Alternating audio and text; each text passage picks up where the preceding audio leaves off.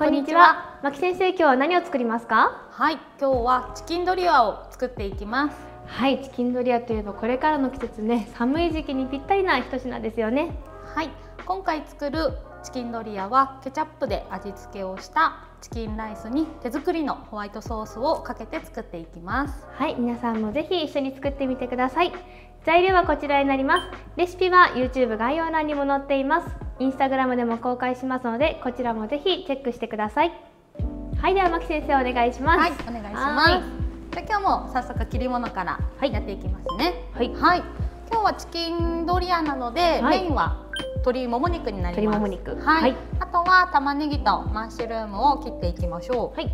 はい。は何人前ですか？今日は二人前二人前。はい。はい。じゃまずは玉ねぎからですね。はい。はい。玉ねぎはまあだいたい一センチ角切りとか粗みじん切りに切っていきますね。まあもしみじん切り得意じゃなかったら薄切りとかでもいいです。切りました。はい。次は鶏もも肉ですね。鶏もも肉。鶏もも肉もだいたい1センチ角切り。はい。皮は取りますか？皮はどっちでもいいです。お好みで残したままでもいいですし、はい、苦手な方は取り除いて。ただ小さく切る時って皮ついたままだとねちょっと切りづらかったりするのでもしね切りづらいようであれば皮外していただいた方が切りやすさもアップします。はい、脂肪も取ってあげた方ができればそうですね。ねうん、こんな感じでね、はい、今日は鶏肉たっぷり使っていきます。はい。はい、次はマッシュルーム薄切りにしていきます。はい。切りました。はい。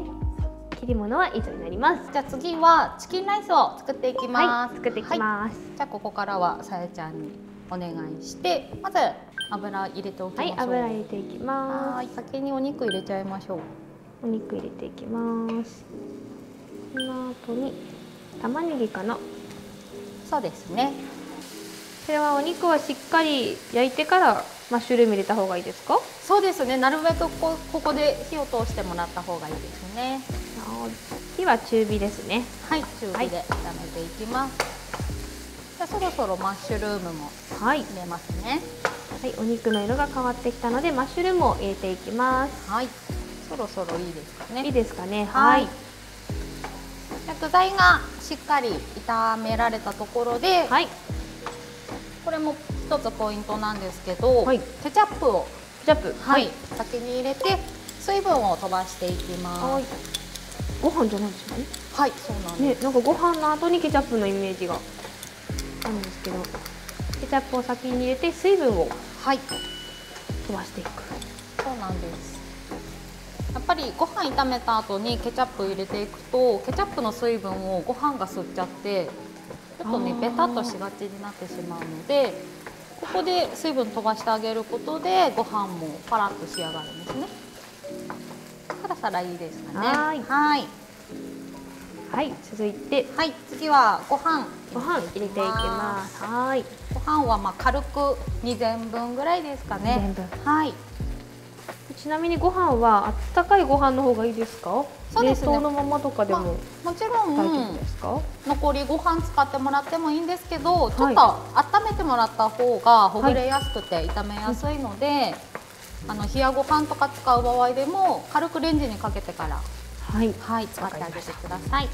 で今日ちょっとねケチャップも気持ちあのオムライスの時よりは少なめになってて、はい、やっぱりねこうホワイトソースとかチーズとか、うん、後から乗ってくるのでちょっと中身はね味薄めにしておいた方が全体のバランスとしてはいいと思います。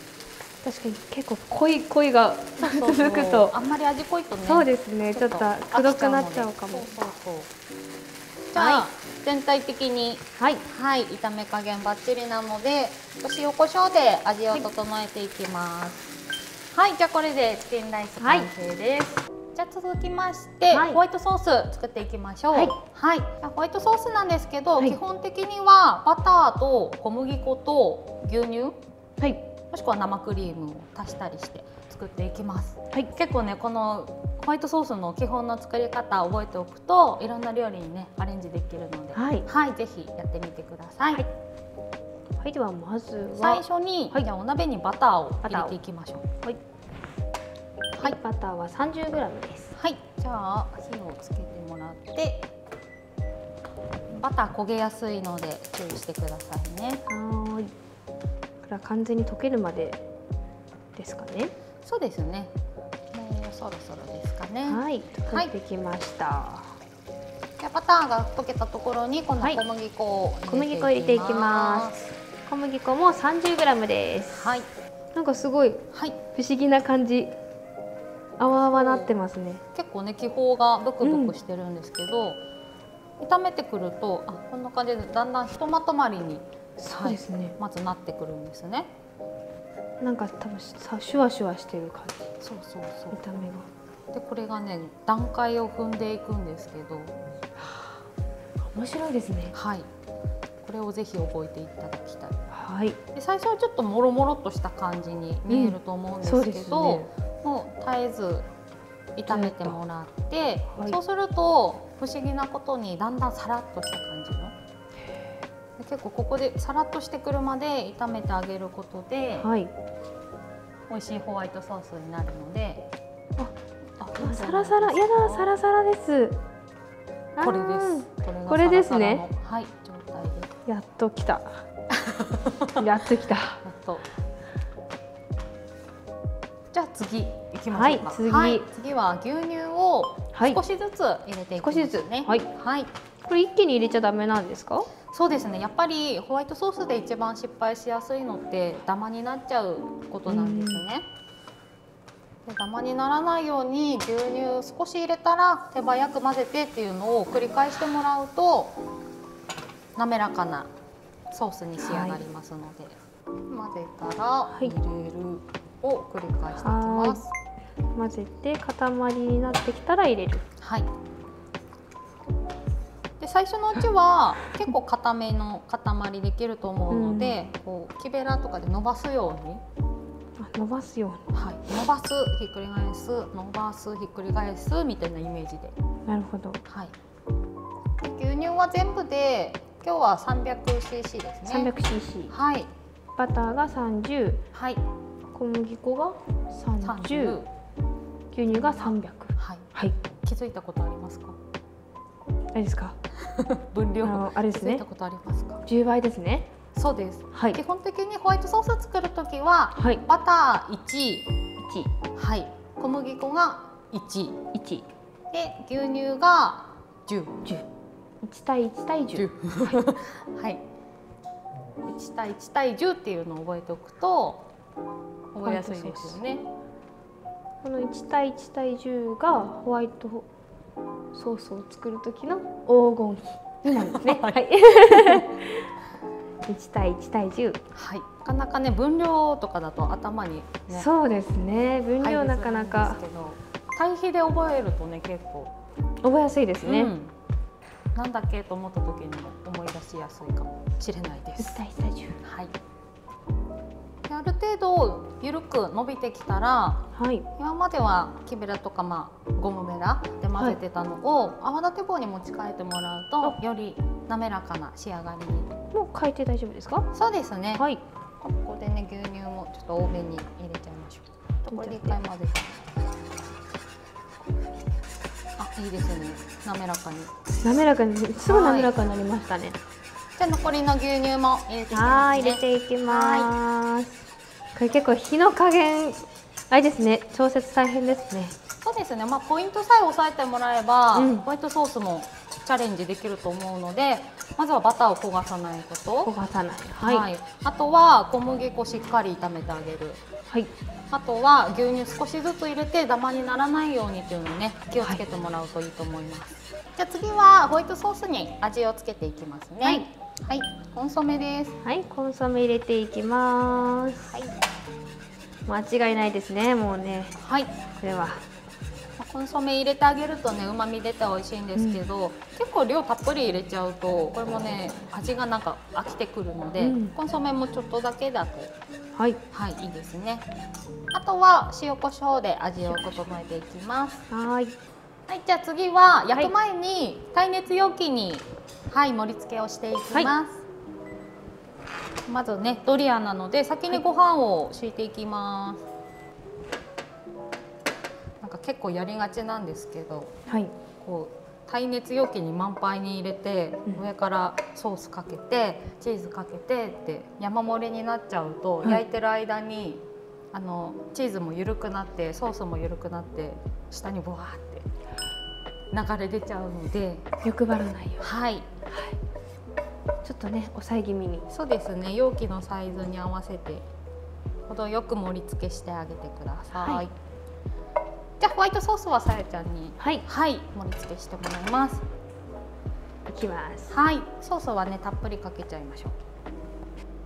今日はね作ってすぐ盛り付けしてるんですけど、はい、もしホワイトソース保存しておきたい場合は、はい、サランラップしっかり密着させて密着させて。はい、はい、あの牛乳と同じでそのまま置いておくとホワイトソースに膜張ってしまうのでじゃあ結構しっかりめに。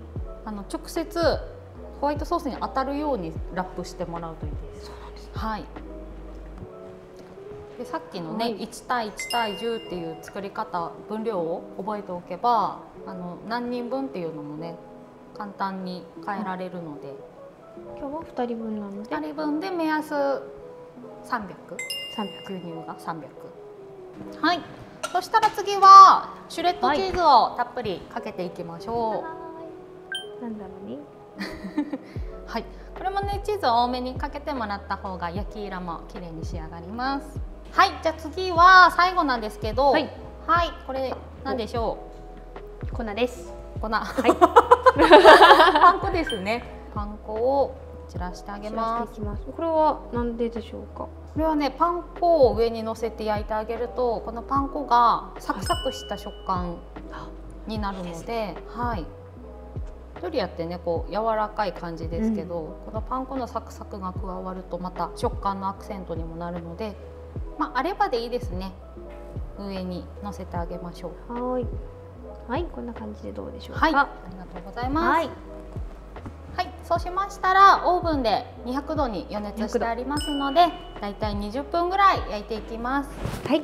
お願いします。いってらっしゃいそれでは20分経ちましたので焼き上がり見てみましょう。はい。出してみますね。あ焼き色綺麗ですね。す。ごい。さはいでは仕上げにパセリを。はい。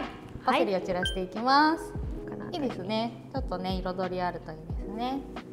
はいではチキンドリアの完成ですそれではさやちゃん試食をお願いします。はいいただきます。はい熱いので気をつけて、ね、はい。でも焼き色が綺麗についてくれてよかったです。いただきます。うん。うん。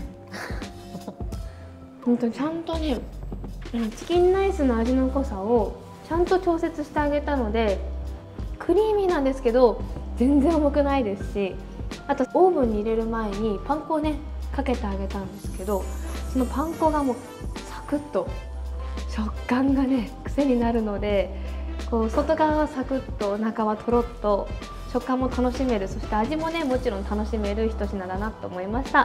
ぜひ皆さんこれからの時期ぴったりです。作ってみてください。牧先生今日の料理チキンドリアを美味しく作る魔法の一手間は何ですか？はい。ホワイトソースを作る時に牛乳を入れるんですけれども手早く混ぜてダマにならないように気をつけましょう。はい。私もホワイトソースに初めて作ったんですけど、はい、成功してよかったです。ちょっと火の加減ね。